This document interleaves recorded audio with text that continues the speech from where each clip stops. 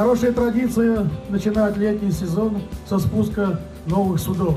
На набережной Затоновской судоверфи в Навашино весь завод. Для рабочих и горожан судостроительного города с вековой историей спуск каждого корабля – это всегда праздник. Все по канонам флота. Крестная мать разбивает о борт бутылку шампанского. Успех. Рейсы судна будут удачны. Не каждая женщина является крестной матерью баржи. Сколько вот крестной матерью детей многие могут быть, а вот баржи... Вместимость этой 120-метровой баржи почти 7 тысяч кубических метров уже в этом году. Она начнет перевозить нефтепродукты по нашим рекам. Со Стапелеокской верфи баржи не сходили более 15 лет, а сюда именно вот такого класса сходят впервые. Это только первое судно из 10 по новому проекту, который предприятие построит в ближайшие месяцы. Этот заказ э, позволил, или вернее даже не позволил, а привел к тому, что мы интенсивно набираем людей. На сегодняшний день с января по вот, апрель месяц, по настоящий день, э, порядка 500 человек дополнительно принято рабочих.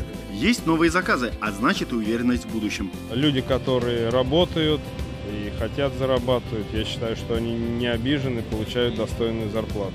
На заводе уже началась резка металла под строительство судов в следующем году. Уже есть заказ еще на 8 сухогрузов. И не только. Мы сегодня э, говорим о том, что чтобы сюда пришли хорошие заказы, нужные заказы для Министерства обороны.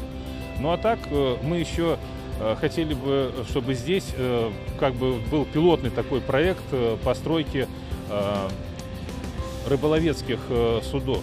Первое рыболовецкое судно должны спустить со стапелей в 2020 году. Глава региона поручил перейти от точечной помощи по заказам для отдельных предприятий к разработке комплексной системы поддержки судостроительной отрасли в регионе. Поставил задачу Глеб Сергеевич Никитин о том, чтобы э, отдельную программу разработать э, в виде кластера, который поможет развитию именно кораблестроительной отрасли. Мы планируем там реализовать целый ряд налоговых льгот.